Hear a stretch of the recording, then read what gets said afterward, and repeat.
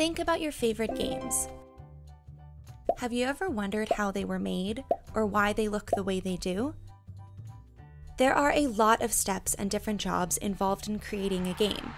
Today, you will practice these steps as you design and test your own computer game in Kodable. Here's your mission. Design your own version of an Asteroid Blaster game.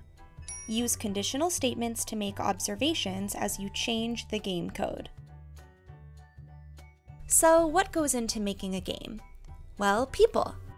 Here at Kodable, we have two programmers, one artist, one head of product, and one project manager all working on the game you love to play. That's five people who collaborate and work together to make one game come to life. Let's start from the beginning though. There are some basic steps that people go through in the process of making a game. Step 1 Imagine. What is the idea for your game? Step 2 Design. What will your game look like and how will it work? Step 3 Create. Program your game. Step 4 Test. Have people try it out and give feedback. Step 5 Improve. What is working? What could be better?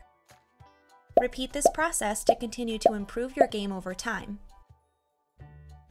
Let's take a look at this process in Kodable's Game Designer. We've already taken care of step one and come up with the idea for this game. The goal is to clear the colored asteroids with the fuzzballs. Today, you will help with the rest of the steps. Here's what you'll do. First, open the game settings and take a look at the code. You can add to it or change it.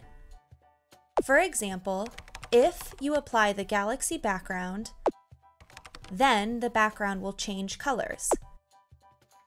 In programming, this if-then relationship is called a conditional statement. For every design decision that you make in this activity, you can use a conditional statement to observe the effects. Let's look at another example, this time in the asteroids file.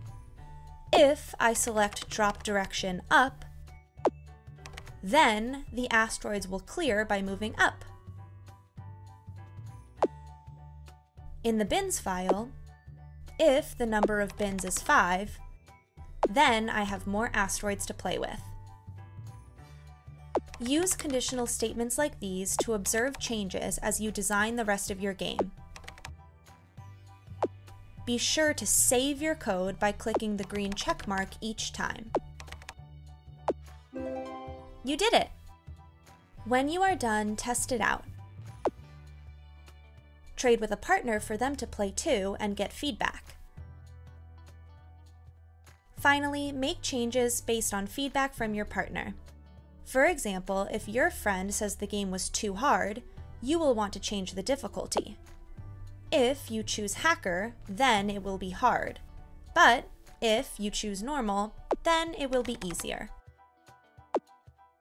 Don't forget, game designers are never done after just one try. Building a game takes a lot of testing and improvement. Just look at how Kodable has changed over the years. And we're not done yet. Now it's your turn. Open Game Designer, create a game, and complete your mission. Design your own version of an Asteroid Blaster game. Use conditional statements to make observations as you change the game code. Good luck!